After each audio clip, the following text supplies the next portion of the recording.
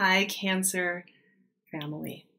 I am so thrilled to be talking to you about December. Specifically, Cancer, you guys. This is a really, truly magical time for you, and one that I think is so symbolic and sacred and beautiful and empowering. Um, and it could feel a little bittersweet. I will be I will be honest about that. There is kind of a bittersweetness in this month. Um, really, this hinges on a few things. Let me start shuffling these cards. And by the way, by the way, before I get super into this, if you're interested in what the year ahead is going to look like for you, I did a year ahead video for Cancer for everybody, for all signs. Sun and Rising are fantastic. I'll leave the Vimeo link below. They're really great for getting a sense of the overarching big transits, and I also pull some cards for the the intuitive side of that conversation. So please go check that out if you're interested in feeling empowered and excited and energized and curious about the new year. I think it's going to be beautiful. And it's powerful for you. And December is kind of the preview in so many ways. We have this full moon at zero degrees of your sign. A card already flopped out. Oh, five cups. Yeah, see, there's the bittersweet. We'll talk about this. Don't worry too much, right? Um, that zero degree moon in your sign. It is a doorway. It is a portal. And it is an huge invitation to becoming the next version of yourself. And when I was thinking about your energy this month, the thing that came to mind for me is you know, when you start to really move differently through your day, through every hour, through how you live your life by feeling that self worth, that self love, that calmness. Have you noticed how sometimes really efficiently things will just disappear out of your life? And it can kind of like be a little jarring because it's in the big spectrum you can zoom out and see how it's good for you but it's also a little traumatic on the surface. It's a little bit like uh, i have to grieve that. I need a second to just collect my energy. Like what is happening? Why are things moving in that way where it's so fast? You know what i mean I think like that's some of what's going on with you. Um, so lead up before we get to that zero degree full moon in your sign. There's a lot of other things going on. We are up until December 19th in post shadow Venus retrograde phase, seven of cups. Oh yeah, this is like dream world, you guys. This is like going up and meeting your future self on the platonic, and I mean like Plato and his philosophy of the ideal in the in the stellar, in the um, divine form, and how it, we are constantly trying to manifest down here that mirror image. That's what I mean by platonic. But we're recovering from Venus retrograde really until all the way through Sag season, basically. So even though we're done and even though we're moving on and there's other things going on that's there, Eight of Swords, don't worry, Cancer. This is a magical month. This is a magical month, and I'll talk to you about why these cards make sense and how awesome this really is. Ten of Wands. Okay, yep. It's very symbolically burning down who you've been for the last for some of you, the, um, a lot of you, this is going to be multiple years. That's what I will say about Cancer. What we're talking about here is at least two years and up to seven or eight years of who you've been. Um, we still have a Mercury retrograde the first week of this month. And it is retrograding right back into Scorpio, your fifth house. Venus is going forward into Scorpio, your fifth house. So you're getting a review on the practical side with Mercury, and you're getting a forward push on the on the romantic side in both directions. Oh my gosh, cancers. You're gonna have to ride with me here on this discussion today. Um, because this is going to be really powerful. Sag season is always really interesting for Cancer energy because it's kind of electrical and intense.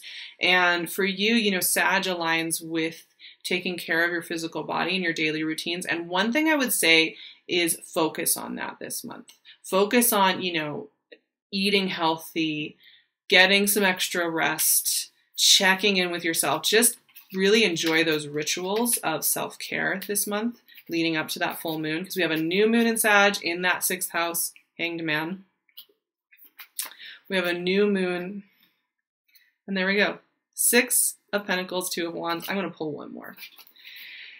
New moon in Sag on the 7th. Um, things are just kind of moving around. All the, the game, the game board is being reset right now. You know what I mean? Like leading up to the solstice and to this full moon. The game board's getting a big reset. And to do that, we kind of have to finish out the game, you know, get all the way to the checkmate and then the, the acknowledgement of that checkmate before we really put all the pieces back. And the world popped out. Okay. Yep. Yep, Cancer. This looks really scary, but it's not. So, Capricorn season obviously is the mirror season of Cancer. It's your opposite sign. Um, during the time when the sun is in our opposite sign, this is a time where we are reflecting on how we relate, how we connect, how we uh, project our energy into the world. It's always kind of a trippy time when we're in our opposite sign. It's definitely a time of uh, kind of internal searching, but also connection. And along with that full moon at zero degrees of your sign, we are heralding in a long time or a, a, number of months over the course of all of 2019 where the North Node is in your sign, where eclipses will begin to happen in your sign. We are heralding in a time where you'll be moving differently through the world, and you are feeling that. And that is why so many of these intense cards are showing up because when you know that you are about to hit into new territory and you are about to become a new version of yourself and you know that that is coming, you have to be sure you aren't smuggling in any old energetic habits because then if those energetic habits are with you, those energetic um, headspaces are with you where you still believe that way or you're still thinking that way or you're still holding yourself there, it won't allow for you to meet and converge with your future self, right? So, yes, there is maybe some mourning going on. Maybe there's a past relationship that you just have to make peace with that loss, right? Maybe there is a scenario that you have to make peace with. Maybe there's a version of yourself one that believed in a project or believed in a life path or believed in something that you thought was going to be in your life for 20 or 50 years. Maybe you have to give yourself the grace to realize that it's okay that that shifted. I think that there's something really powerful in that. Um, and we often don't give ourselves that grace to say that it doesn't have just because we believed it and we were really adamant about it and it didn't happen doesn't mean that we were wrong or we should be embarrassed about it or we should we're not allowed to change. We're not allowed to morph. Because now you have more information. Now you you have to morph in life in order to have because information is always coming in. Perspective is always changing. Divine source is always going to be bringing us new information which is what these next two cards are about. Yes this is the fog. This is kind of a magical fog and anymore, I've gotten into this place where when I see this energy, like Seven of Cups and Eight of Swords, people are so freaked out by the Eight of Swords. You know, it's oh God, you know, like what's holding me prisoner? What like mental landscapes are in? That's one way to look at fog. And a lot of us have been trained to fear fog, to fear slowdown, to fear those times when our dreams are extra trippy and our downloads are extra weird and the wisdom is working through our bodies. And even those times where we're feeling like we don't relate to even our closest social circle. You know like those times when you just kind of feel like you're outside of that and you're almost watching the world from a different vantage point. We've been taught that that's scary that that's bad that we need to avoid that right? Like our culture is just like no no no you just got to keep going. Like you should know what you're doing. You should have your five year plan. You should have it in a notebook man is that wisdom it's not wisdom. That's not wisdom. That is fear-based control mechanisms that are based on this idea of survival in a world that is out to get you right? So in that context this conversation right here looks terrifying to the fear-based survival tactics right? But on the soul level this is wisdom. This is download this is taking that moment to sort through your soul's mansion, go through all the rooms, create the space for what you want, and reconcile with anything that is no longer serving you. Toss out those old poisonous cups, let them go, and really imbibe from the ones that feel good. Now, this process feels quiet. It's like opening up a cupboard. And in that cupboard, there is food, but there's only the things that are going to sustain you. It's not jam packed with a whole bunch of crap like old chocolate chips and marshmallows and um, you know weird cans of soup. It's going to be packed with very nutritive, clear, concise information, which when you open that cupboard and you just see this is you just have your nutrients there and you don't have all the other stuff, it's gonna be like, oh, is this okay? Am I okay? Am I okay? Maybe I need to have something more. Like maybe I need to go back to like when it was more complicated and there were those people in my lives and I felt complex emotions about all of it all the time and I felt like I had to find the balance for it all the time. Maybe I should go back to that.